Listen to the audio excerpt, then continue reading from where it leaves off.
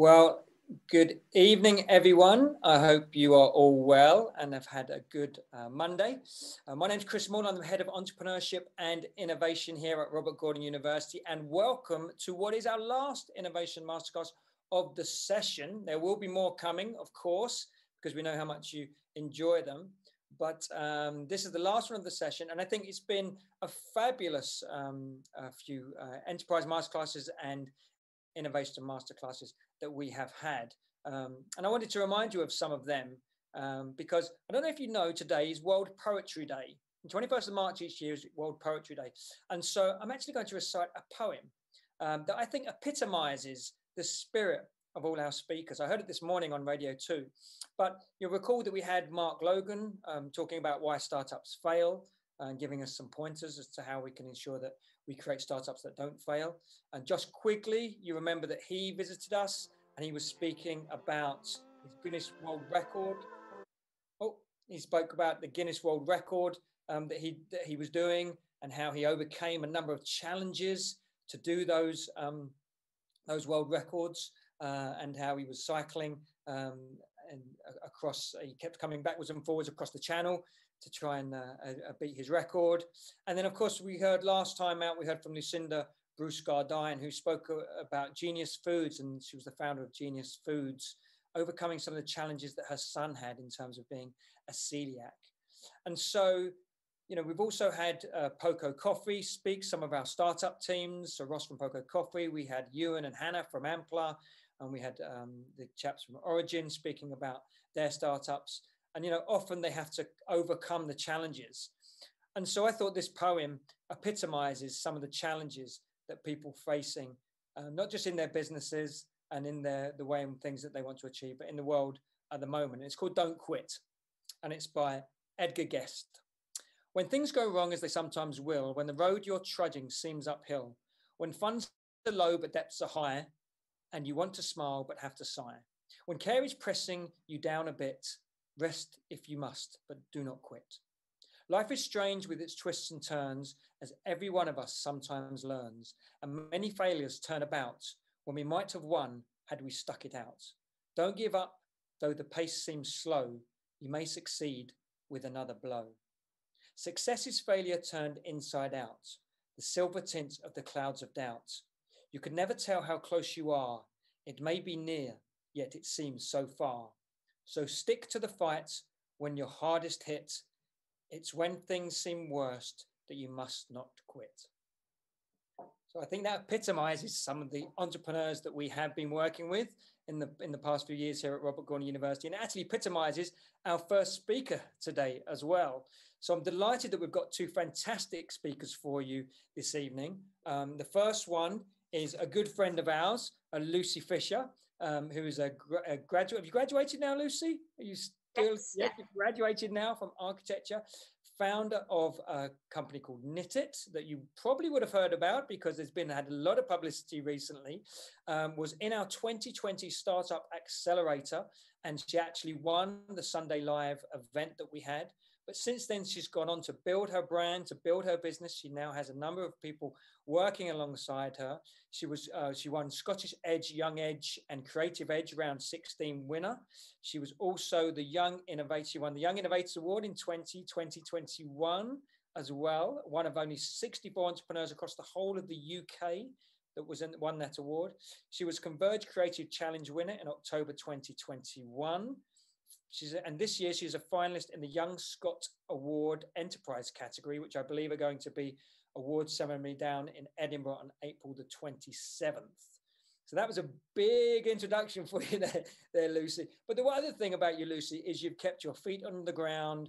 I was on your website and I, you know, fantastically inspired by the values that you have on your website. You talk about inspire, ooze passion, innovate, be quirky, which I love. And I think you are quirky and to nurture as well.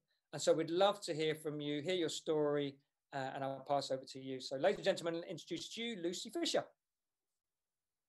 Perfect. Thank you very much, Chris. Um, and I know that that introduction seems really like quite crazy, but it actually ties back to your poem right there. Um, uh, don't quit. And I would say there's been so many points where I've wanted to pack it all in, but again, um, entering all these things and the success, the success that we've had has definitely been worth it at the end. So the hard times definitely are forgotten for, in place of the good. Um, so I'll just I'll share my screen and start the presentation.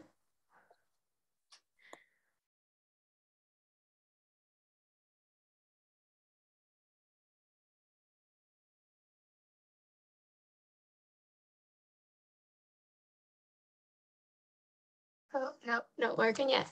Yeah, that was looking uh, good. That was fine. There we go. Yep, that's it.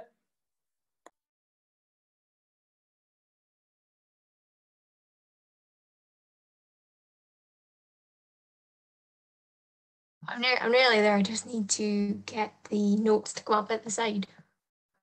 Um, is that still okay? Yeah, that looks good.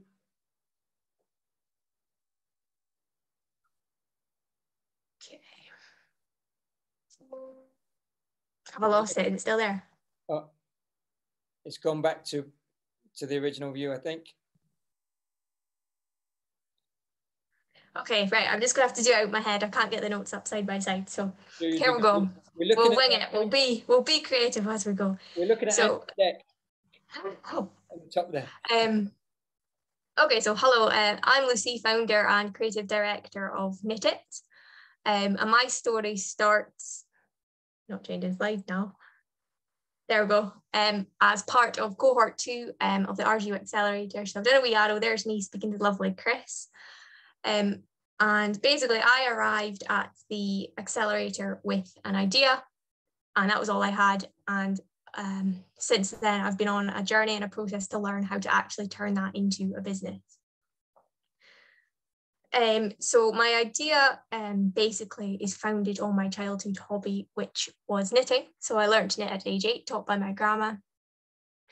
Um, however, I felt that knitting was stuck in the past and really needed updated to inspire um, the younger generation to want to do it. And um, so that's what I came with an idea and an ambition. Um, so a wee bit of background just before I jump into the creative side of it. Um, in 2020, we launched our first product, which is a knitting kit, turning photos into knitting patterns. So here's a little shameless Mother's Day plug. If you haven't got um, any presents yet, give us a look um, and see what you think. Um, but behind the scenes for the past sort of year and a half, we've been working on the, the big vision really, which is a new platform which will revolutionize the industry. And um, so I'll go into a bit more detail. So firstly, how would I define creativity? I think it is more than ideas. I think it is the process of making an idea reality. So creating a thing from nothing. Um, and why is creativity important? I had a big think about this and I've kind of come up with three reasons um, and a wee bit of story of how I reached the conclusions for that. So the first reason I think is the most obvious um, in, in that we need to be creative because we need to continue the basic sort of advancement of the world. We need new ideas, we need to innovate and we need to make things better, which is what we've been doing for the past thousands of years. So that's nothing new, nothing groundbreaking there. Um, but when I was working in ASDA, they had a catchphrase, which I'm sure if any of you have also been an ASDA colleague may remember, which was don't walk by. And what they meant by that was simply um, if you're walking up an aisle and it's a mess, tidy it up, don't walk by, um, in order to make the, the environment for the customers good. But I've sort of taken that and applied a similar but slightly different meaning that if you come across something and you see a way to make it better, don't walk by, make it better. Take on the responsibility and make that reality happen. So, with me, uh, with knitting, I don't think it's it's right for the age. Basically, I think there's ways we can make it better, ways that we can inspire young people to want to knit. So I've not walked by. I've taken on um, the challenge basically and formed the company uh, from that sort of philosophy. And that, that was the bit there about knitting being old fashioned and a funny little slide. Um, so number two, why is creativity important? Um, so if there's any Potter fans, there's a little pun here. I think creativity is important because you need to be rememberable or memorable. Um, so basically, I think you need to stand out in business. You need to be different from everybody else. And that's why creativity is important. So I did have planned a, a wee experiment for today. Um, because I was going to be in the room, I was going to say um, we're very close to hitting 500 Instagram subscribers. So if you're in the room or at home, jump on Instagram right now. And the first six people who we're going to follow at Hello Knit It, so that's at underscore Hello Knit It, um, we're going to run up and grab a free donut. So what I was trying to do was create an experience that you would remember. Hopefully you'd say, oh, I remember that time I won a donut from that girl. What was it? Knitting, something like that. And it may have flopped. It may have been an absolute disaster. But part of creativity, I think, is also about taking risks. Um, and at the end of the day, if the risk didn't pay off, it was win-win for me because I would have had six donuts to take home. Um, but yeah, try it. And if it works, stick with it. And if it doesn't, try something else. Um, and then the third reason why creativity is important is simply that it is fun. It's like, I know I would much rather be some, doing something fun than something boring. I'd much rather be building something with Lego, for example, than doing the ironing. Um, so if you can make, I'm quite lucky that I've been able to make my hobby into a business and we're in the process of making that potentially something that could be could be quite big. But it's also fun. So again, win-win. So I often get asked, how did I come up with the idea for Knit It? I find this one quite a difficult uh, question to ask. So, I mean, the story starts, I was just wandering the streets in Budapest in back in November 2019. And funnily enough, ideas tend to come to me when I'm near water. So there's a big, big river that splits Budapest in two. Um, and we were just sightseeing basically. And also, I'll just chuck in a random fact Budapest is the home of the Rubik's Cube. Um, and that's a good creative challenge if anybody's interested as well. And um, so, anyway, ideas come to me when I'm surrounded by water. So, again, that can be things like rivers and beaches, which are quite relaxing, or it can also be when I'm swimming, or even as crazy as in the bath. Um, and I think the reason for that is it's during these moments um, in these sort of relaxing places, my brain sort of shuts down from the day to day, the busy sort of what's going on in that moment. And all the ideas that have been whizzing around in the background get the chance to just come into the foreground. So all the, the connections that I've made or the, the little things, observations I've picked up, they come forward and they just kind of meld into ideas without me really having to think about them. But I think it's just taking that moment to kind of stop forget about the day and just let ideas be. Um, so yeah, so I can't really answer that question when people ask me how did you come up with it. I think it's just been something that's been in the back of my head for for years and years, and then one day it just came out. Um, so how did you turn the idea into a business? So this one for me, um, I think this talk is about inspiring people to be creative. I think I'm quite like a naturally creative person. So what I actually had to learn was the opposite. I had to learn like a business persona. I had to learn how to do the more mundane sort of required tasks like accounts and finance and all the regulations and the, the things you don't even really realize. Um, and that can be quite overwhelming as well. So for me, what I had to do was I had to break it down into little chunks and see the stepping stones of how this idea could become a reality. So just do small strategic moves that gradually um, get you towards that loading bar being full. And of course, that loading bar goes back and forth and back and forth because it's not a straight path um, along the way. But um, the other thing as well, I can't remember if there's another slide or not. No, the other thing I was going to say on this part uh, as well was I think creativity, you hear it a lot more with like writers and you get writer's block a lot. So that that happened to me is when I have so many ideas and I don't feel that they're progressing, that's when it gets really difficult for me to want to continue. And again, it's just important on trying to get 80% of the way there. And then that's enough of an achievement and it keeps things moving. And eventually um, you start whizzing through it again. So, what has the journey been like so far? So, like I said before, um, being sort of a creative person, I'm used to sort of being in my own head with my own ideas and just sort of making them for me. And the journey, therefore, what I've had to do in creating this sort of business persona has taken me out of my comfort zone. Um, so thing I think the, the hardest thing has probably been learning how to eh, like explain the idea and express it and communicate it to other people. So a lot of that is in terms of like the networking and the building relationships with potential partners, um, and just generally learning how to to speak about the idea in a different way.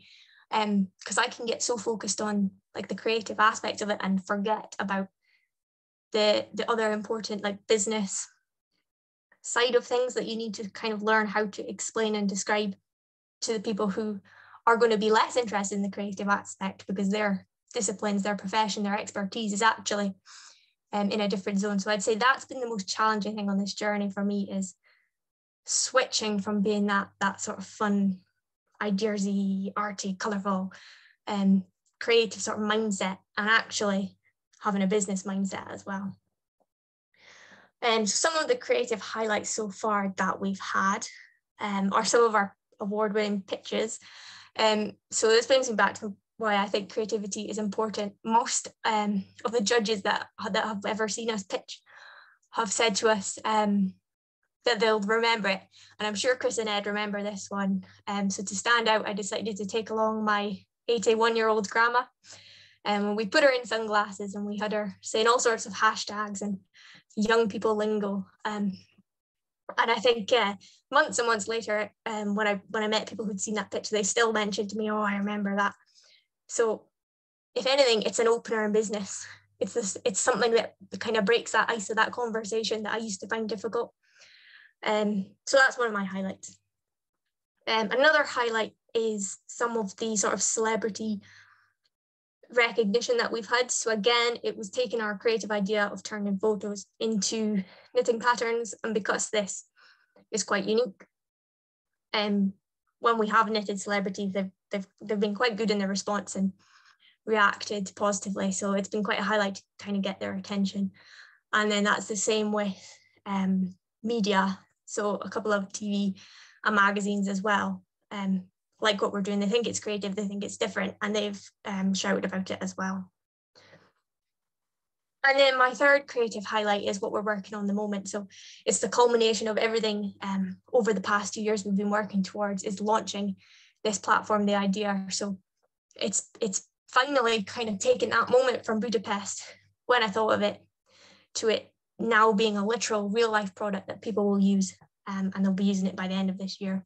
So that is absolutely one of the highlights. Um, so, so that's the end for me. Um, and I think I just want to say, be creative, be quirky, and yeah, give us a follow if you can. Thank you. Oh, and make people smile. That was my finishing line. Virtual round of applause. Fantastic.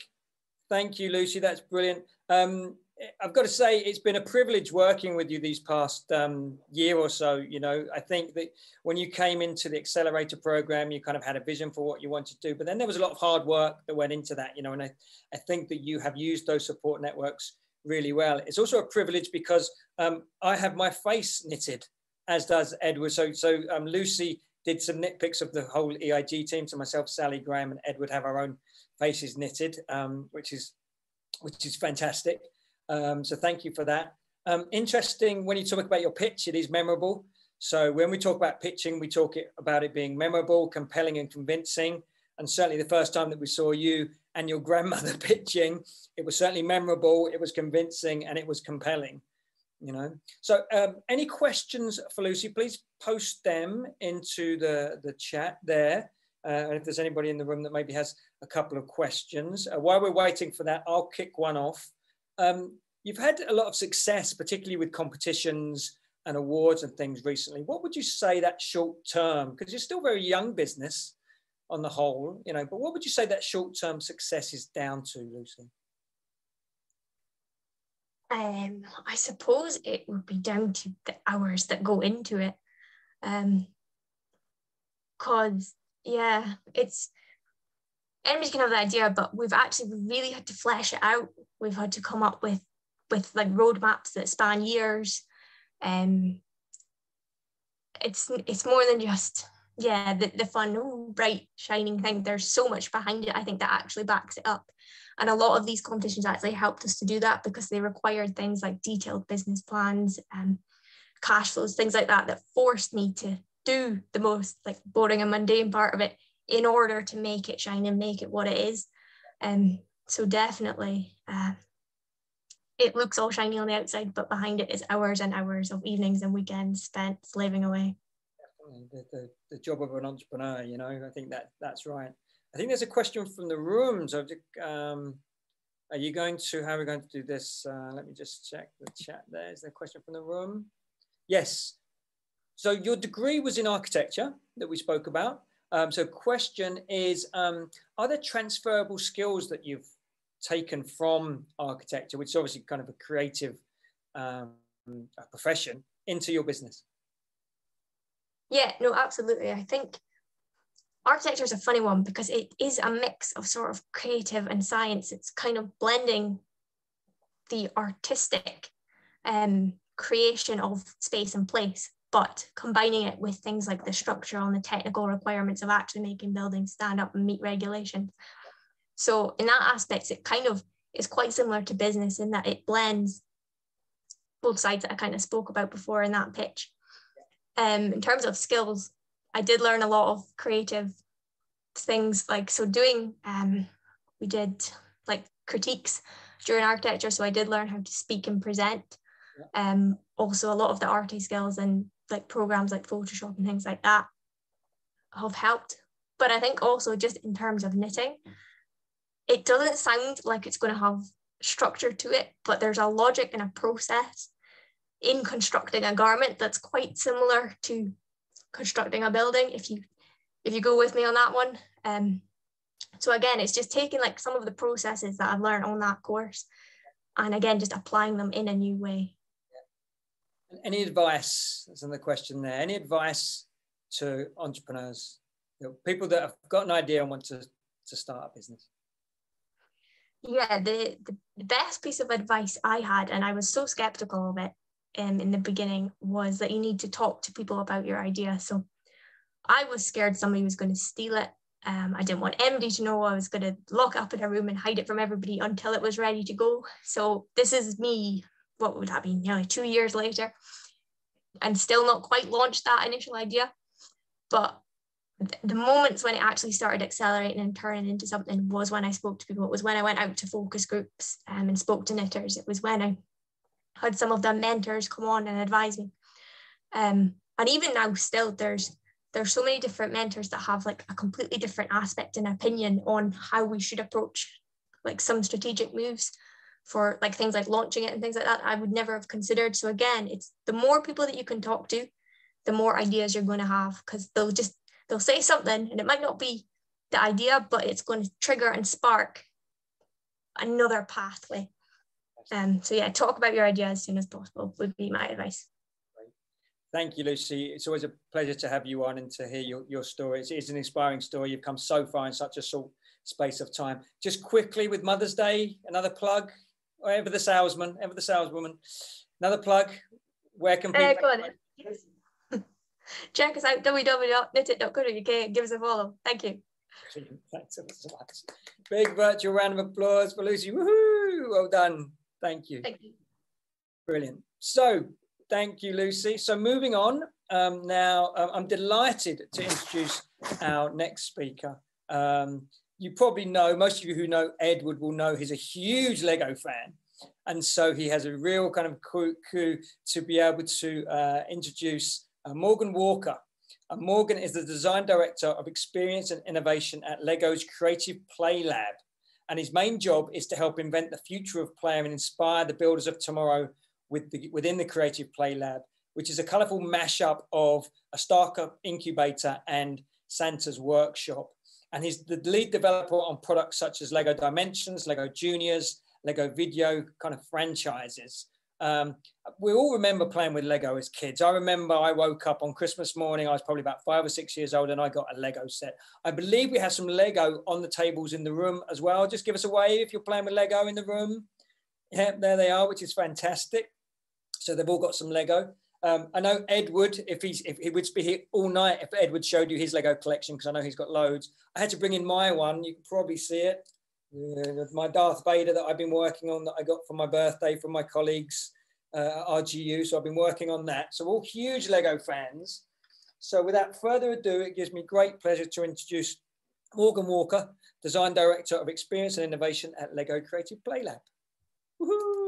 Thanks, Chris, and thanks, Lucy. I'm totally sold. You, are you're definitely going to hear from me. Um, looks super awesome. So uh, put me down for uh, for Mother's Day for sure. Me um, hand over, yeah, from one and well put. You know, we, we definitely are. Uh, knitting is a creative system, uh, as is Lego, um, and, and I recognise so much of what we do actually in, in, in what you presented. Um, yeah, so you know, Edward uh, gave me this this uh, challenge to talk about why play is a building block of innovation. Um, that, I mean, I think that should be fairly clear within Lego, I suppose. But um, I just want to give you a little bit of a sort of an insight into how we approach that with a few examples, and then um, you know maybe just some tips and tricks, you know, processes, tools, and stuff that we use that, that, that might be helpful. So, just first of all, background: who am I? Um, what am I doing? Where have I come from? I've I've spent sort of half my life designing stuff for adults, um, another half for kids. Um, I started out life, you know, I studied product design engineering at Glasgow, and I and I designed a lot of um, products, medical products, kitchen stuff, car stuff, um, and then you know, kind of, I, I got a job at Lego, and then that's ten years ago, and I've just been completely lost designing lots of colorful um, play experiences for kids.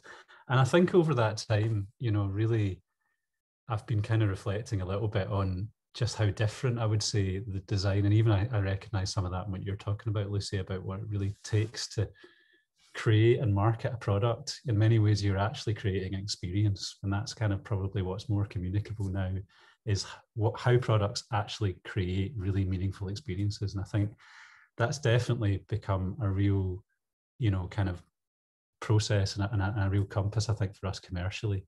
Um, so that's kind of what i want to really talk about. You know i'm a product designer by training but technically my, my job title now is I'm, I'm an experience director and, and that's what i spend a lot of my time thinking about.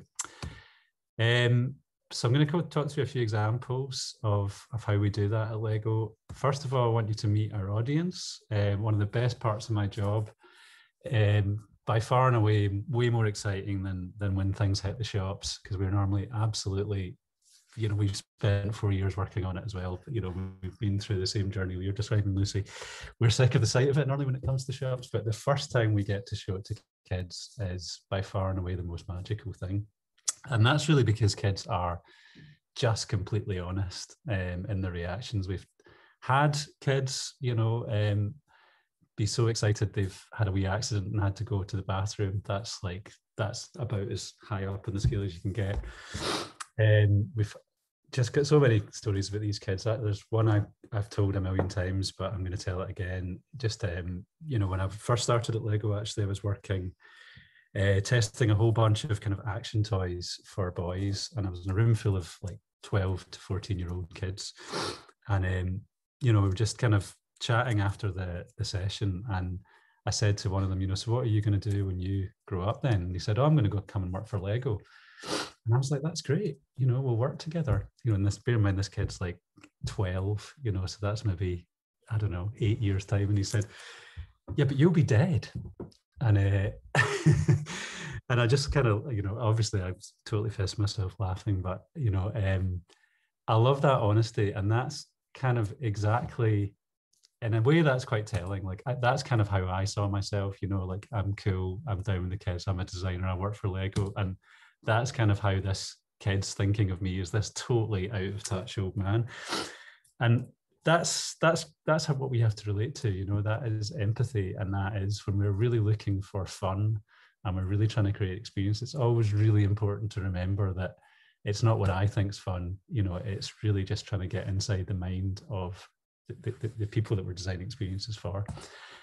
And i know you know I don't know how many of you are designing toys. I'm guessing not tons of you around the table. I Just you know, we're going to talk a lot about kids, but I, have spent half my life also designing stuff for adults, and, and it's been really revealing. You know, I, I, have to say there's not a huge difference. I think in terms of our actual motivations, um, it's been really kind of helpful for me to actually tap into what is playful, what is fun. I think we always choose the fun thing. Um, you know, we're just less honest about it as adults. We we sort of kid ourselves on that that's what we're really after. You know, we put up with stuff that doesn't really work. Um, but if something better comes along and something genuinely is more pleasing and more pleasurable and more engaging, we, we go for it every time. So there, there's there's great similarities, I think, even that we're talking about kids. I mean, adults still need to, particularly with technology, you know, they still need to be onboarded into new interactions. They still need um, you know, that to be communicated in a really emotive uh, kind of a way if your product, your experience is really going to make sense. So, you know, how we think generally about designing experiences, and as I say, when I say experience, it's not that I'm designing a digital experience. I'm, I'm just definitely thinking that's that's kind of how we get to the product itself. With Lego, the product has already been designed. We, we're, we're still using many of the same bricks we've had for a very long time, of course, but we're really innovating on your relationship with the brick. We're, we're innovating on the experience itself. And the first thing we really need to think about when we're doing that is, is to think about how we actually want kids to feel. You know, what emotions are we going to trigger in, in kids? Um, a kind of an early example of this for me, this was like my first project at Lego, um, was to work on the 4 Plus line, which wasn't really doing very well at the time. Um, we had known just for such a long time that kids found this transition from Duplo to to Little Lego really challenging. You know, uh, one is you know all about kind of animals and basic stacking, and then all of a sudden, when you kind of miniaturize that, it's not just the the kind of fine motor skills. There's a whole raft of challenges that come just with kids being able to figure out all of these steps and really get to you know actually creating this stuff and that was a really big challenge for Lego because actually, to be honest, you know, four to six is actually the peak of the toy market. So there was definitely a feeling of kind of a missed opportunity. Definitely a feeling we tried many times and nothing had really worked out. But I sort of came along at a really great time where we were up for giving it one last shot, kind of thing. So, so that was my first uh, project, and and the first thing we did really with a, a whole bunch of researchers is just really try to find out what was really going on and we went on a on a real road trip you know a lot of places in the states and around europe and we spoke to a lot of families and we ran a lot of creative workshops like this to try and really get to the bottom of this. Um, and if you've got kids you'll know you know four four or five years old is kind of a special age. Um, you know these kids are just so imaginative um, and they're, you know, when you're three, you're not really capable of doing that much. But four or five, they're really starting to feel quite powerful. They're really quite coordinated. They've got tons and tons of ideas and no inhibitions. And also just really, really high expectations of what they think they can do versus what they actually can do. So this is kind of one of the main themes that we found with this little Lego was just great, tons of amazing ideas, and then just kind of kind of frustration and crushing disappointment at not being able to realize them. And you know, one of the the interesting things really was that Lego had always just seen this, I think, through the product lens. You know, we'd we'd innovated, we tried to make bricks easier to build, we'd tried all sorts of, you know, kind of product focused innovations, but we'd never really questioned the ultimate goal of this whole experience. Lego you know we're a company of just brickheads we love bricks um, and i think we'd you know, in a kind of an engineering mindset, we'd convince ourselves that the job of this product line was to teach kids how to build, like a sort of tutorial. Um, and that was really where we started to kind of think about something different. We said, well, what actually if that's not the goal? What if we're just trying to keep kids a little engaged a little bit longer so they don't give up? And maybe just those skills will come more naturally. So what we found was that kids actually didn't really want to build. That isn't why they were playing with Lego they were playing with Lego because they wanted to role play, because they wanted to tell stories. Um, and that became a new goal. Like, how do we just stop kids giving up and just facilitate them to be able to start having fun and telling stories? So I think, you know, really this is for me, and then for anyone starting a business, this is the most important part is really finding out what value you're trying to create and what the real problem is. And it's often not the thing that you think it is at the start of the process.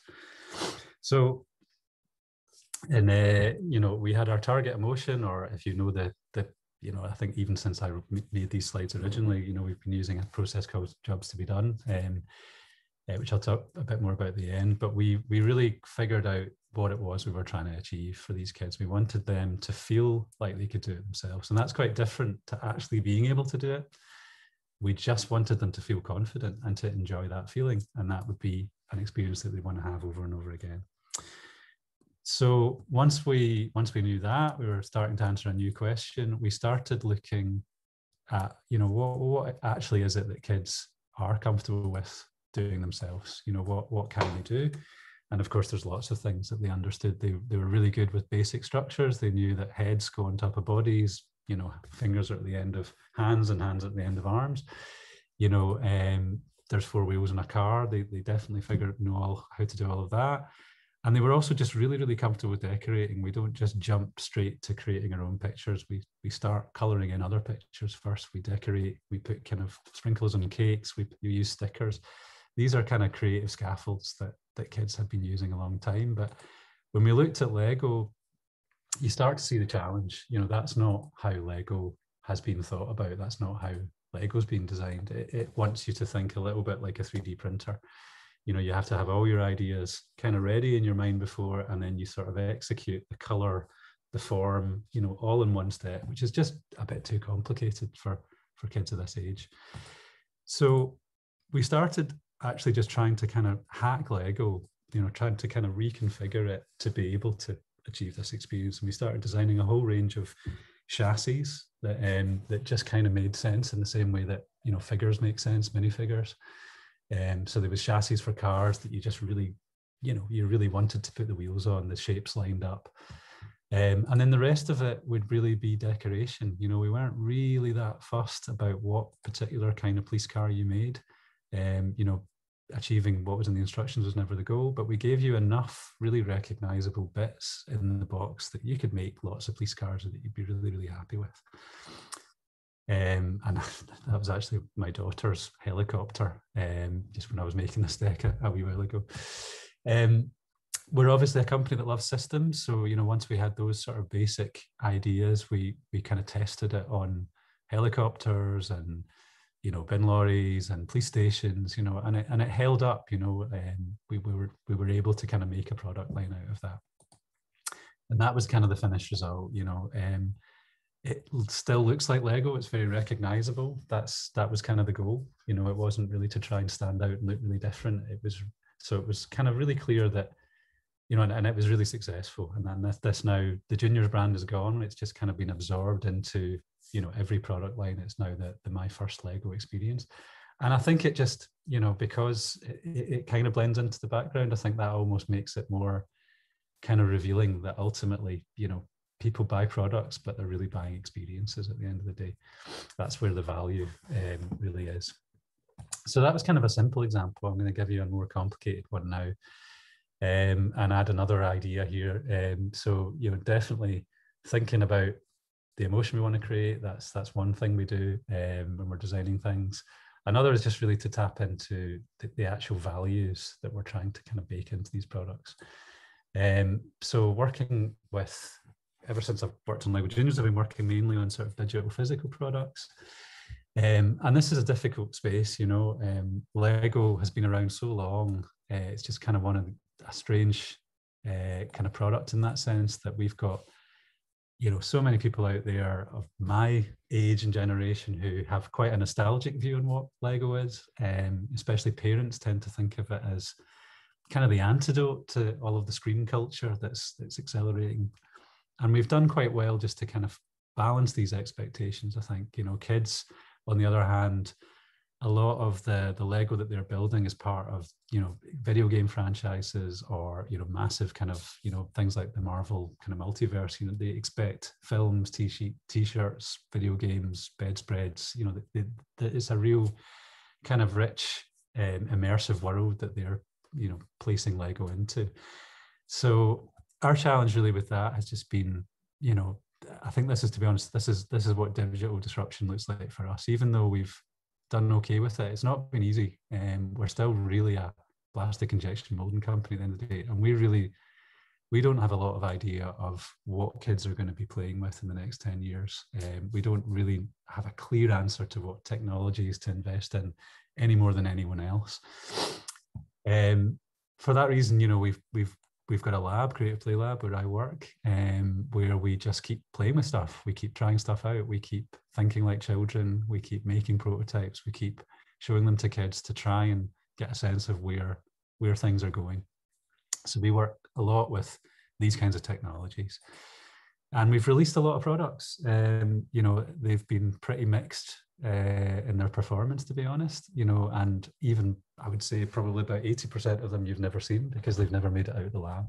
It is a really tricky formula to get right, um, like many technology led things. I think the key thing is, you know, whenever certainly I'm working with technology, I mean, the first rule is it's not about technology. It's really easy to become a geek and get really, really, you know, excited about it when you're working with something new and you're being playful and you're being innovative. But again, kids don't really buy technology, they, they just buy fun um, they buy experiences. And I think the challenge actually when working on these things is, is often um, just keeping your eye on the prize a little bit, just really being very sure are you really designing in you know really meaningful value or is this just a gimmick that's that that can be really really hard to find out we've also just really struggled to communicate these kinds of experiences again back to the first slide you know um, i think kids get it but quite often you know, um, expectations of Lego are still quite traditional, um, and there's just a limit to to how much you can break the idea of what's supposed to be in a box. Lego Vidiyo, to be honest, hasn't been a big success. Um, I mean, I'd love to have done some more slides in that, but I was out with COVID last week and I didn't get a chance to put that in. So I'm going to go with an old example, if that's okay. Lego Dimensions, you know, it's uh, it came out in 2015. Um, so you know, back in 20 2012, 2013, was such a long time ago when we were working on this, um, we were thinking, hey, toys and video games, you know, video games are what, like just such a huge industry, even more than bigger than Hollywood now. It's just such a big part of kids' lives. And we really wanted to be part of that, you know, that world. Um, and we started to think, you know, how could these two things come together in a mutually sort of beneficial way? So our design brief, you know, avoid gimmicks, find value the game needed to be really good. Obviously, if, if the game sucked, you know, forget the bricks. Um, the game needed to be more fun with toys. We didn't want toys to sort of feel like they were kind of getting in the way. We also wanted toys to feel really special um, in the game. You know, they're not just something that you just kind of had to use to unlock some digital content. And we really wanted it to feel, you know, like an authentic Lego experience, which meant, you know, working with lots of bricks that just we couldn't afford to put technology in all of them. So already sounding a lot harder. Um, but I think, you know, there's so many technology paths to solving this brief. You could run it a million times, you could run it once a year and you'd end up with a completely different solution. But I think these values, to be honest, did the test of time. If we if we redid this project today, we'd probably do the same thing. So the first one we really appreciated was that, you know, kids just really want agency. You know, they want control. and um, that, that's that's the foundation of all good video games. And I think the same is true of how kids really play with Lego.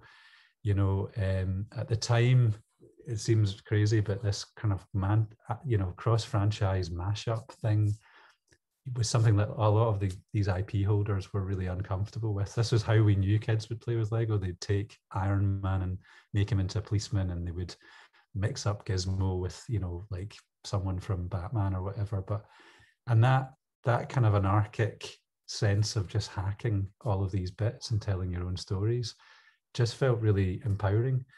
But um, it was quite a new thing uh, back in that point, and that's that's it. That was the first the first thing that we just really wanted to make sure we we managed to do, um, which was a bit of a breakthrough. Really managing to top the, the you know the license holders of like the A Team and Harry Potter and Adventure Time and a lot of these very disparate themes to just let us create this big sandbox. Um, so that that was the first thing. The second was just that, as I say, just that feeling of control that we really wanted to target. Um, you know, and and there was kind of a simple solution to this. You know, we had these little RFID tags that the, the vehicles and the figures would go on. And whenever you put the figure onto the, the toy pad there, you just saw in the video, you know, the little guy would just kind of be dropped into that world. And if you pulled him off again, he would be sucked back out of this, this little kind of vortex back out of the world. And as kind of simple as that sounds as an interaction, it was kind of delightful and it was very, very easy to kind of experience and enjoy and, and, and just get hold of. But I think where we knew we really had something, you know, kind of more potent than that was when we started watching how kids played with it in kind of co-op modes. You'd get a lot of them kind of using it quite tactically. They'd be kind of dodging a bullet or they'd, um, you know, be sort of griefing each other. You know, they'd be kind of pulling their friend's figure off, uh, you know, off the portal while they were driving a car to try and kind of get them out the way. So the fact that it was kind of quick and versatile and easy to use and actually kind of sort of started to become part of gameplay was just a really, really promising sign. I think then we knew we had a good link between the digital and the physical that, that empowered kids. And then the last value, you know, this this idea of just it being authentically Lego, you know, we didn't want it to just be Lego in name only. There had to be some kind of building experience. And this is what we all think of when we think of Lego, you know, just being lost in a kind of little dream world, putting your bricks together. Um, the challenge there is that video games are is just such a different experience. You know, it's also hugely immersive. You know, you you've got a big, you know, TV screen there. Kids, you know, with the cranking the sound up, all got a controller. Um, that's also a very, very sticky experience. But we pretty early gave up all hope of being able to kind of transition kids back and forward between those two states. Each of them was just too powerful in its own right. Um, so a big challenge for us was just to really figure out, what, you know, where was this building going to happen? You know, how was how are we going to avoid it just being built and then that's it? You know, it, it, it might as well have been made out of plastic. And the solution for us was really that we, you know, we wanted building to be something that would happen after probably mum unplugged the TV and said, you know, your dinner's ready, you've had enough. At the end of screen time. Um, and what what we the way we designed it in the end was that you actually achieved uh, new building instructions, you know, but through gameplay. You know, you would actually unlock a rebuild of, of each of these little kind of vehicles. And that was kind of a, a reward. So you effectively you were kind of building your own trophy. So there was a real solid motivation there for doing it. Um, and it was a really, really nice first building experience for a lot of kids, you know, that probably were bigger gamers than they were builders. So those are just a couple of uh, examples, and I think you can see in both, you know, the, and even more so now if I've been able to do Lego Vidiyo, like the experience, um, you know, we're so much more conscious of that being the thing that we're really delivering. So I just want to kind of finish off with just a few tools. Um, you know, probably you know a lot of these. I mean, I think that's kind of the good thing. Lego, or we don't have any you know, super magical, completely proprietary tools. We're using a lot of the same startup tools that that probably you guys are using. Um, but just in case, I'm, I'm just going to tell you some of the things that I, that I use in my daily work and, and how we've set ourselves up for experience innovation. I think it's probably, you know, worth talking like just briefly about the context. You know, like experience design. You know, we really used to make just this one experience. It just used to be you know bricks and instructions, uh, printed instructions, and, and that's it. I think we've partly, I mean, I think probably the biggest thing now is maybe the global pace of change. You know, people's expectations are changing faster than at any point before. You know, they've got a lot more new technologies that are available, and again, that sort of accelerates. You know, the race for kids' attention, you could call it. You know, uh, we're definitely working with new media, new experiences, new partners, and I think we just it's interesting just to look at. I've just put a couple of slides to show you how we've structured ourselves to deliver innovation over the last 10 years, how much it's changed. So when I first, you know, I, I joined in 2010 and, and, still around 2012, you know, when we were starting up Lego Dimensions, this was kind of our process. It was changing, but Um, this used to be what you know. This is what I got taught at, at uni. You know that we you'd just come up with a ton of ideas and you'd slowly kind of whittle them down, um, and you know you'd really that would really be in response of some kind of strategic brief from the business side of the company. So all the creativity was very much focused just on ideas for ideas' sake. There wasn't really much more you could go on than that. You just had loads of ideas, and the best ones won. Um, you know, maybe five years later, we had this kind of double diamond sort of process, um, which I think is quite familiar. I think the Design Council, you know, originally proposed this, you know, and, and what's changed really was that we spent an awful lot more time in this diamond actually trying to figure out, you know, what is it, what is the problem we're trying to solve.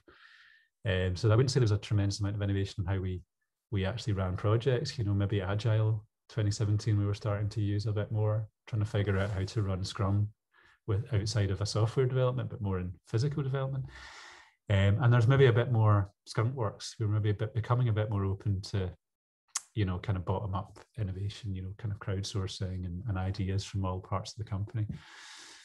Where we are now, um, I'll kind of explain, but I mean, I think the key the key thing here is just that there's even more focus, I would say, on that area. Um, you know, what we run now is just really that there's always there's less of a pipeline, and I think just more of an ongoing um, sense of missions being born. These little blue uh, kind of triangles, and and then really we've, we're running a lot of projects at a lot of different phases. We're constantly trying to apply sort of design thinking increasingly to to areas of opportunity. So, you, so creating products to try and understand whether their needs are even valid or not before we even spend an awful lot of time making prototypes and kind of developing, you know, test marketing materials. So we've kind of got a bit of a, you know, I think the intro you, you called it like a, you know, kind of a startup laboratory. I mean, it very much is that. Each one of these blue triangles might as well be a business. It's a group of people, cross-disciplinary teams, really trying to figure out as if they were a startup is there a business here? Do we have, are we creating value for, for a, a certain type of child or a family? Um, so yeah. So, I mean, I think, you know, that, that that's that all happened over the course of 10 years. And I think, you know, all, all the color coding aside, just to sort of break it down, I think three things have really changed. And I think that gives you a sense of the direction of innovation, not just in Lego, but I'm guessing in other companies. One would be that, you know, we've gone from being this big top down, you know, the boss says do this um, kind of company. I don't think we were ever totally like that, but you know, we we expected briefs to come from somewhere at a certain point, and I think not we've realized now is that the future is just way too complicated for it for anyone in the company to be able to do that. So we actually are in charge of finding the problems that we solve now. So there's a there's empowered startup minding teams responding to sort of a democratized strategy the company still does understand from a business point of view you know what needs to be true but not much more than that it's got it's got a concrete strategy but we take it forward um, i think the second thing these two areas are where we've definitely spent more time um, you know there's at this end of the spectrum the qualify and discover there's a lot more design thinking and sort of lean startup focus on early opportunities. And you could really characterize that as like the hunt for value. If you found value, then let's talk about making a product. But until then, let's not bother. And then at the other end, I think, you know, we're spending a lot more time on value propositions and go to market strategies. And that's really because it's just become increasingly harder to kind of launch a product, to be honest. Um, you know, there are so many new offers out there, technology is changing. You know, even just in, in marketing, like it's so fragmented, no one's watching TV anymore. There's no adverts. How do we even communicate with kids? Yeah, you, you do have to do stuff like uh, Lucy was talking about. You know, it's really important to have stuff on Instagram. You know, so that whole part of just packaging a fun play experience up and actually being able to put it in a box metaphorically and, and communicate it to someone, that's become a real area of innovation for us because um, because that's actually getting harder. So these are definitely areas I think, and I, am sure this is true for any kind of startups that you might come up with. Um, you know, cutting through these days is, is really challenging. So some tools in both of those areas that we use. Um, you know, if we if we talk about this earlier phase, that you know figuring out the right problem to solve. Um, if you're familiar with this one, if uh, you know that's great. If not, Google it. Uh, jobs to be done methodology. Um, I think it's really about you know, I think that the little sketch here is saying, you know, even though consumers buy this, you know, which is a whole bunch of skateboard parts, what they're really buying is this, you know, they want to look cool, they want to, they love the idea of, you know, being able to skateboard. It just looks really amazing. They love the fashion. I mean, you really need to figure out what is it that people want to do with skateboard, um, and what is it if you if you're if you are a really good skateboarder again, what why actually are, is that skateboard better than another? It's not as obvious, I think, as it once was um, especially with you know there being a digital component i think to a lot of products and, and how you discover products. So this is a really great methodology for just unpicking that um, a bit like i've described really trying to get to you know the experience that you're trying to create and, and get to the why. We also use business model canvas which i'm sure you're all aware of. Um, you know we really try and break that down you know um, i think that's the other area that's been really exciting is just you know design thinking it used to be a room full of designers and then a room a, a smaller room full of marketing people and it's now a much more collaborative uh, place. And, I, and i've definitely found myself in a lot more of you know these kind of business discussions. And this this canvas i think really helps people designers and marketeers kind of speak the same language. Um, the other end of the spectrum sorry my daughter's coming in here. Frida i need to i'm on the phone no, I don't. Oh, I'm sorry. At the other end of the spectrum, um, you know, as I said, how to actually get something out into the world has become harder.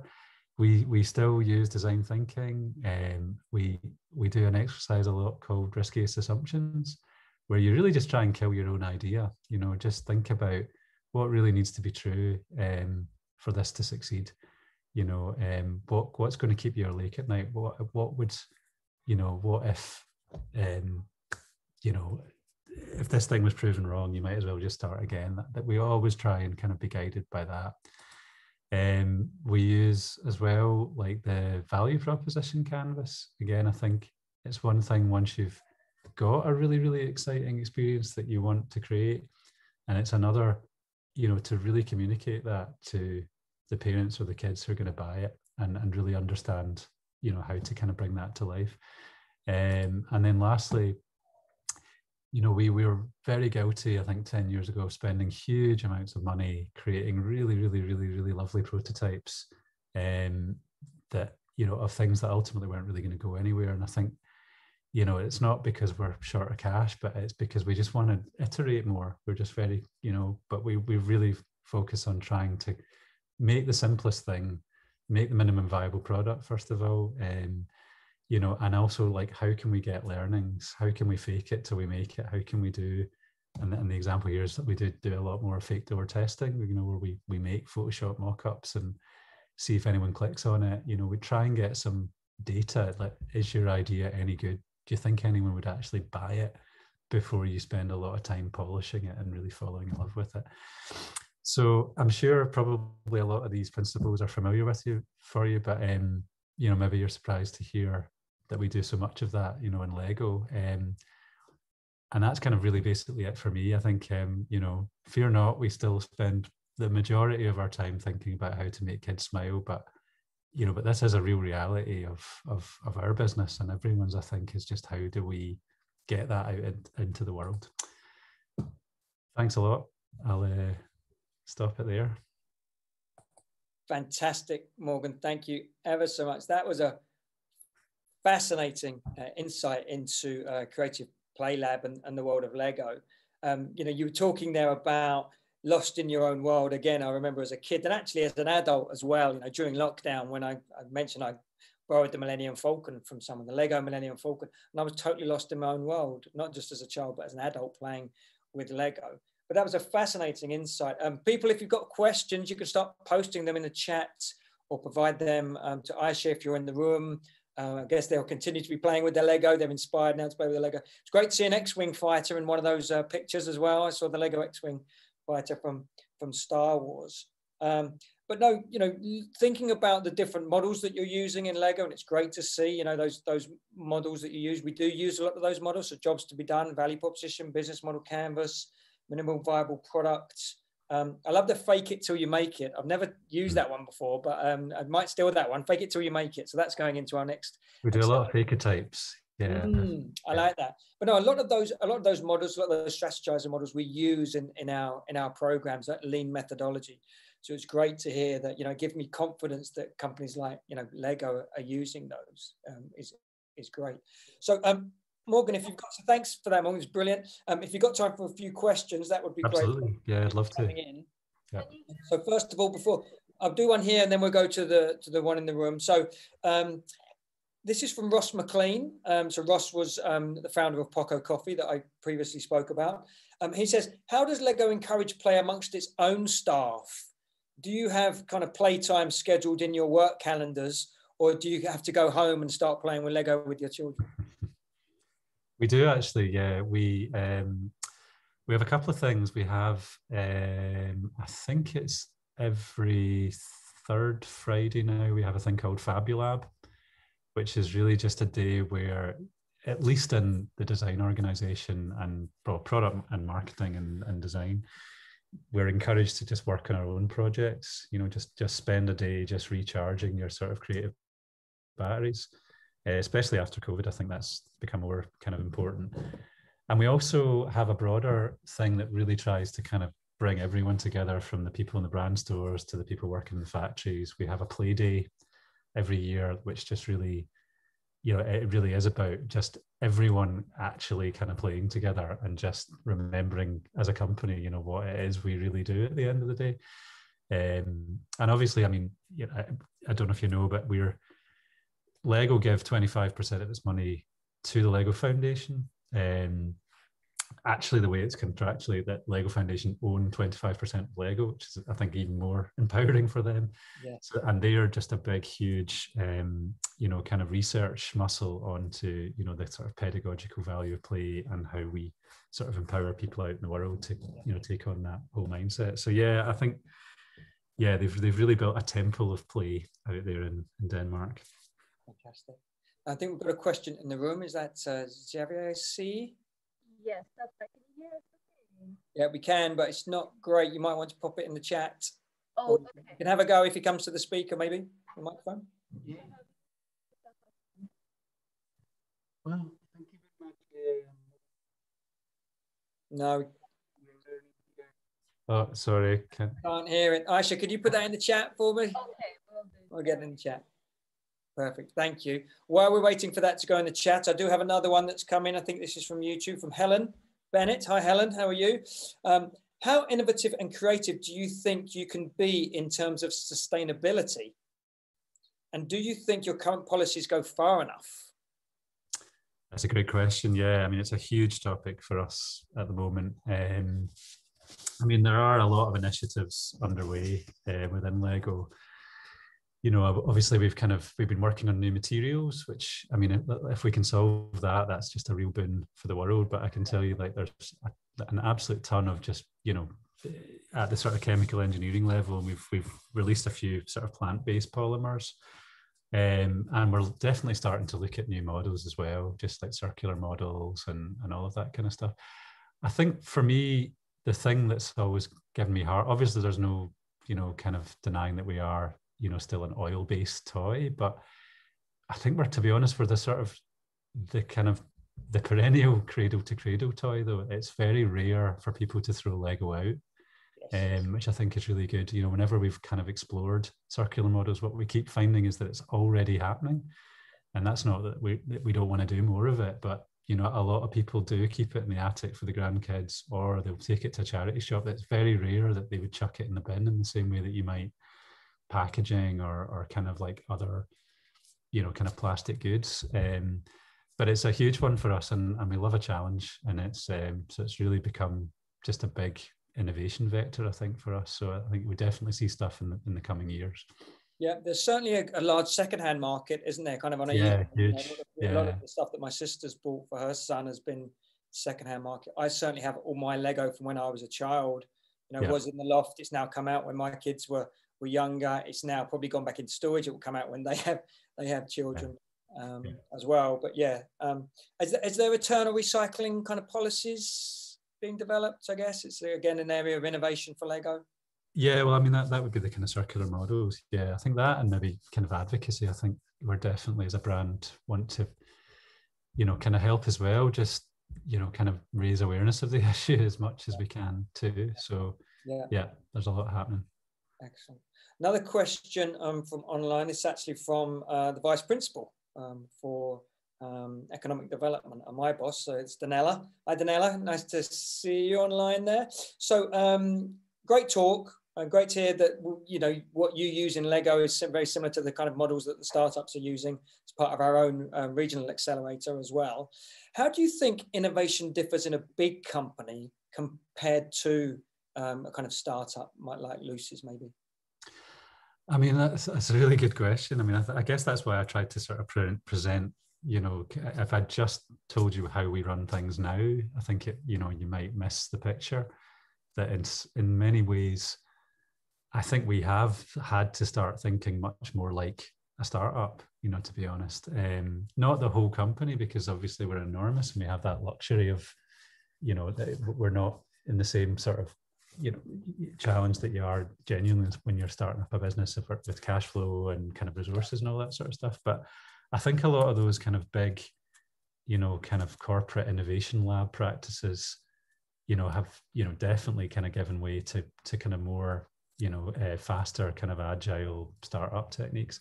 So i think and it's been a really healthy transformation to be honest. I mean I, just the amount of money that we would have spent on five big bets previously, you know, we, by trying to kind of be more startup minded and just trying to ask the essential questions that you know, that we all ask, and we're all a lot better at asking now um, around business viability or desirability or feasibility.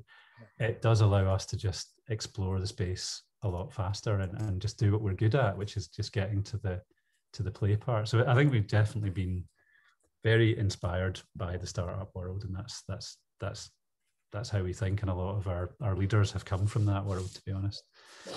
Long may that continue? And we've got a really international audience um, tonight morgan. So we have andy from havana is watching um, At- Ataliba from angola and Oy- oyoma from nigeria. So they're all listening live. So hello to all of you and thank you for joining us this evening. Um, so and my question relates to that actually. Um, uh, do children from different cultures and different international areas interact with Lego differently? um, that's a good question um, is play just plays just play? You know, kids kids just play. yeah um, i mean i think we've definitely always observed you know it's not probably not a surprise that lego was came from northern europe where where there's cold winters it's a very it's a very insidey toy um, whereas i think a lot of the kind of hotter countries you know kids are outside more you know um, so i think that's probably the biggest one. And then i think i don't think there's major differences in terms of you know how kids develop and, and what they're interested in. I think lego is really you know obviously tapped into something around construction play that's pretty universal. Yeah. um, and you know 10 15 years ago we maybe would have thought it was a bit more boy than than girl and that's that's definitely not you know what lego believe and and i've you know kind of really constantly doubling our efforts to just make that distinction very clear that it, we're, we're for boys and girls I think maybe the only thing is now that I think we're a little bit more where we were a construction toy exclusively, maybe, you know, 50 years ago. I think we're, you know, because there's so much, so much culture, I think in, in, in a lot of the stories that we're telling are a lot more nuanced. Um, there's, there's, that's maybe a, an interesting thing. We've, we've, we've recently launched a whole line that's really China specific Okay. um, you know, and and clearly that just culturally they don't really have the same history with Lego that we do. We've you don't get grandparents who grew up with it, so they don't really understand it on that level. And that that was really important for us that, that it, we designed it with Chinese designers in China about Chinese culture. And I think that just kind of shows Lego is at the end of the day, it's you know, it's a bit of a chameleon. It's really the ideas that you put into it. It's the stories that you choose to tell with it. And, and I think we'd love to do more of that, you know, just really tap into what matters to different cultures. So Yeah. yeah, I'd love to love to do a project in Cuba. Been there before and really really loved it. And haven't been to Angola, but um, but yeah, lo- long may that continue. Yeah. And I guess this whole bit of nostalgia, you know, so so Ed, Edward in my in my team, as I said before, there he is, Edward. Um, he's uh, a big Lego fan, you know. There he is. Hi, Edward. Do you have a question, Edward? Being a huge Lego fan and having, you know, every possible Lego, you know, because because a lot of what me and Edward, I guess, and people of our, I well, he's slightly younger than me, but at my age certainly. There's his look. There we go. Oh That's wow! below. lovely. There we age. go. On the international options, I've literally, this is my latest one, so we can plot all the different places on it. That's great. That's a good one. That. I'm going to break it now. But certainly, you know, those going into for nostalgia, you know, they're going for the Star Wars things, you know, going back to their childhood and you know, buying Lego, and some of it's you know con- premium priced as well. You know, so what's kind of tell us a little bit about the nostalgia market. Um, I mean, I think nostalgia, l- as I talked to a little bit in the the, the deck there, it's you know it, if it you know depends very much when we're talking to parents or when we're talking to kids. Um, you know, and we're always sort of talking to a little bit both because, of course, at a certain age you don't have your own pocket money. You know, it's your parents.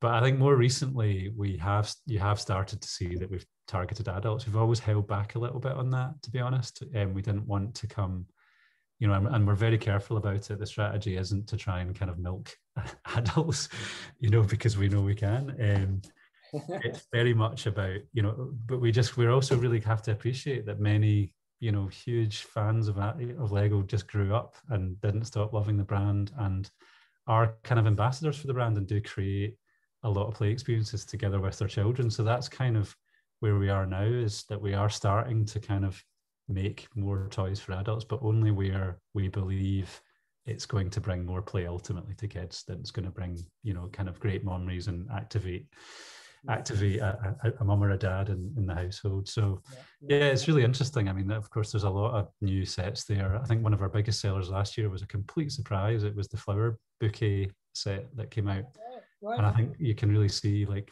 you know, my mum absolutely loved that set and just wouldn't have really been a target for Lego until something like that came I out. saw a Back to the Future set on LinkedIn today. I think that was a Yeah. I don't know if Ed's going to be buying that one in the in the future. Yes, his thumbs up. Another question from the room. So to be on a Lego design team, is there a required type of university degree? E.g., uh, would a textile designer be relevant? I think there might be a textile designer in the room that wants a job. We have quite a few textile designers I know, and uh, yeah, I mean, obviously, there's a small team that work on all the capes, but uh, that's probably not what you mean. But actually, yeah, I mean, uh, like there's, I think, I think really we're not. We tend to take a lot of, or used to take a lot of industrial designers, but there's always a lot of the textile designers. I can think of two or three who are also amazing builders, just have a brilliant sense of color and pattern and you know the lego dots team for example there's quite a lot of really really amazing textile designers working there. I think people can come from any background to be honest. I mean at, at the end of the day it's pretty clear we're designing lego and the graphic design the experience design and the product design that goes with that um, and that's what counts. But yeah we we, we take people from a, a range of backgrounds. Lucy, did you have a question? I can see you looking and listening, obviously, you know, some in terms of the creative industries. Yeah, no, I'm I'm quite interested in um what's what's your role within the wider world of Lego? Like you you talk about designing a lot of these products. Um are they UK based ones or is there is there somewhere more central in Denmark? Or are you are you the top of Lego? Like I, I I'm interested in the company structure and how how it fits Uh, into the bigger picture. Yeah, I mean, I I I have moved back to Scotland after living in Denmark for ten years, and um, that's part of a kind of a, a strategy that we are starting to open hubs in other places. But to, that that really only began, you know, probably three or four years ago, and up until then, all of our design was entirely in Billund, and still eighty percent of it, ninety percent of it is, you know, if you're building a model, you kind of have to be there uh, where all the bricks are. But we do have like a a London hub now and a Singapore hub, you know, and I, and that's also part of just kind of diversifying and and just kind of making sure that we we are attracting talent from different, you know, you know, just understanding the world in a more kind of inclusive way. Um, but as as far as where I fit in, I work for Creative Play Lab, and I'm one of you know um, a bunch of directors there. I'm not I'm not the boss of Lego. Um, my department's quite big. There's maybe about 200 of us now. Um, we just kind of merged also with a, a big technology department so we could become more holistic. So we've got all kinds of people, uh, designers, interaction designers, model designers, graphic designers, you know, um, molding engineers, technology people, computer vision people, anything we'd need to kind of pull off that play. And, and our role really is to come up with all the kind of stuff that we've never really done before. Um, the rest of the business looks a little bit more like you'd probably expect. There is a Harry Potter team, there is a Star Wars team, there is a Minecraft team, and they opposite operate almost like businesses within their own right, with their own marketing leads and design leads and designers and marketeers and all that. Um, but their scope of innovation for them is a little bit narrower. You know, obviously it's you, we, it's pretty high geared stuff. You know, we can't. You know, we are still on a manufacturing cycle, and Christmas is you know what we're aiming towards two years out. So we those lines can't really be taking big innovation risks. Um, so that's where they either bring us in to help you know, kind of maybe a year in advance We'll do if they're doing something really, really new and different, will involve us or it, you know, new product lines like Lego Vidiyo or Lego Dimensions or something, you know, that just had a completely different operating model, different technology than we've ever produced before would be incubated there and then would become, you know, a standalone product line. So we're kind of a lab that feed in whenever wherever we're doing something a bit kind of new and unusual. Um, Okay, great. I think we've got time for two more questions. Morgan, if you can. Yep, that's fine. We've got time, great. So the first one um, was from Ashley, um, who I think is might be watching on YouTube. Hi, Ashley. Um, how do you nurture the ability to step back from the adult expert mindset, design expert mindset, and act as a conduit for kids' ideas without imposing that adult logic? Yeah, that's a great, a great point. Yeah, I mean, a bit like you said, Lucy. I mean, it's just you know you you take your idea to the kids, and then it's just immediately clear um, if you're doing that. I mean, I think that is just the the absolute joy working with kids is that there is not a big filter there. They don't feel they owe you anything really, and we're quite often behind a one-way mirror, and there's you know a moderator. We we do both. Sometimes we just work directly with kids but it's also quite easy to lead kids it as a bit of an art form, not going, do you not think this is really cool? And they go, yeah, I think it's really cool. I mean, we're also coming into a room and throwing a whole bunch of toys on the ground, and most kids love that. So, yeah, so I think it's really that actually isn't a big challenge, you know. Um, I think, it, and as I said, that is, to be honest, that is the highlight of the job. Is whenever we take stuff to a test, it's our best guess, and it's undoubtedly got our own ideas about, uh, you know, what kids like, and that's why it is so important that we are such a diverse design team because we all come from different cultures and different backgrounds. But when we put stuff in front of kids, I think that's the kind of the moment of truth, and uh, they normally make it pretty obvious if they like it or they hate it. Yeah. And we talk a lot about empathy. You know, empathy. You're going back to the design thinking methodology, a lot of what we do is talk about empathy. You have you have to walk in the shoes of your customer. When you're not, you know, yeah. you're not this that have that mindset, then to get that insightful mind of of the child and and you know, and that must be so much fun. That must be so much fun. That's great. Yeah. Edward had, a, had Edward had a question. Although he showed us his globe, he did, he did have a question. So, with that move to a most most sort of holistic view of understanding problems rather than coming back from a brief, do you face creative blocks? So, what do you do if you're having a blank day where those ideas aren't flowing? Wow, that is the biggest question of them all, isn't it? Um,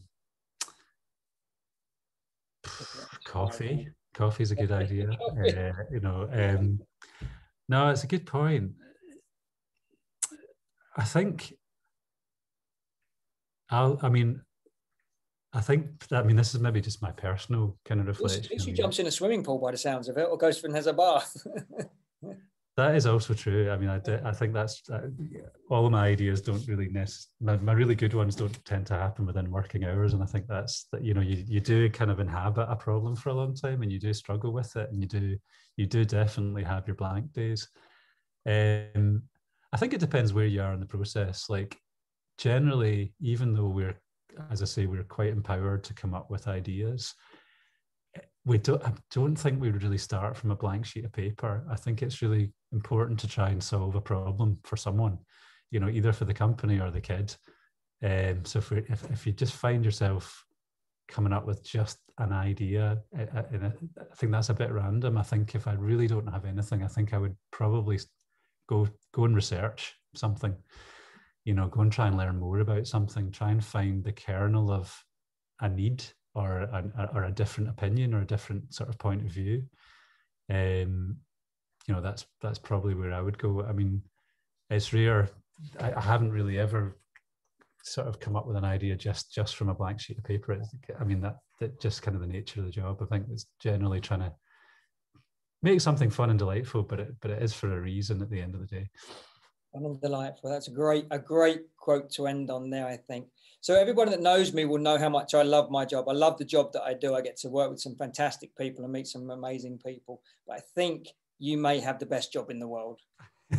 we can all agree on one thing that you have a fantastic job in the world. Yeah. so that's great. Yeah. So listen, Morgan, thank you ever so much for joining us uh, this evening. It's a been pleasure. a Thanks for having me. Talking to you, fascinating insight into the job and the work that you do at Lego, and long may it continue. We're all big Lego fans, certainly in the, in the team, but most of the people I know are, and we will continue to, you know, build our Lego models and play with Lego for a long time to come, I think. So thank you ever so much, Morgan. Thank you also to Lucy. Is Lucy still there? Thank you to Lucy for joining us as well this evening. Big round of applause, virtual round of applause for both Morgan and Lucy for joining us this evening. Um, and it really just remains for me to, to say to everybody, um, uh, thank you for, for coming as well. We know that, you know, you've had a long day at work uh, or studying. Um, and so for you to join us on a, on a Monday night is much appreciated. We hope you enjoyed it as much as we certainly did. A few uh, events for your diary. So on the 23rd of March, we're doing a conducting business sales. So anyone that's interested in business sales, they can come along to that. On the 29th of March, we have a workshop on the Converge Challenge. So those entrepreneurs that are looking to apply for the Converge Challenge this year, um, we'll do a workshop on that so you can find out more about how to do that, how you can uh, develop a, a, good solid application for that. So that's on the 29th of March. And then on the 6th of April, being a storyteller, we spoke about, Morgan spoke about storytelling, the importance of storytelling and how, you know, to have a compelling, memorable story. So being a storyteller on the 6th of April. For more information on those events and to book on those events, visit rgu.ac.uk forward slash events and you'll find those events on that web page and you can book from them as well. So that's it. All it remains for me to do is thank you everybody for joining us. Thanks again to Morgan and to Lucy. I hope you've enjoyed the Innovation Masterclass uh, series that we've had. There's more coming, so look out for more coming. We will be inviting you to lots more in the next semester. Uh, and that's it from me. Thank you all very much and have a good evening. Thank you. Goodbye. Cheers, everyone. Bye.